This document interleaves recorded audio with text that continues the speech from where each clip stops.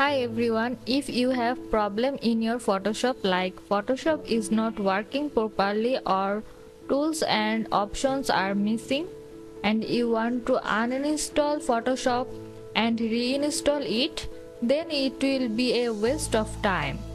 You can just simply reset your Photoshop with some easy step.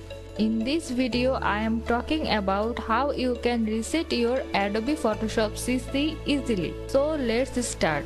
If your toolbar is missing and uh, randomly working then you can just reset your toolbar. From here you have to just select a tool and uh, you have to click here and you can reset your tool which is selected. If you want to reset your all tools then you can select reset all tools and press ok.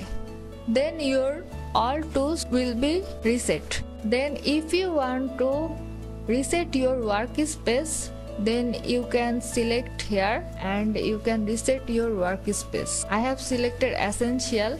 I can reset essential. If you select any of these then you can reset your workspace from here. If you want to reset your full Photoshop then go to edit and uh, go to preference general and then you can see reset preference on quit.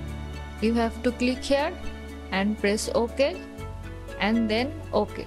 If your photoshop is not reset after all this process you can go another method.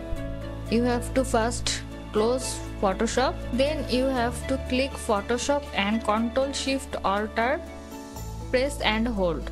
Then you can see this message that delete the adobe photoshop settings file. You have to click yes. See the photoshop is reset properly. Thank you for watching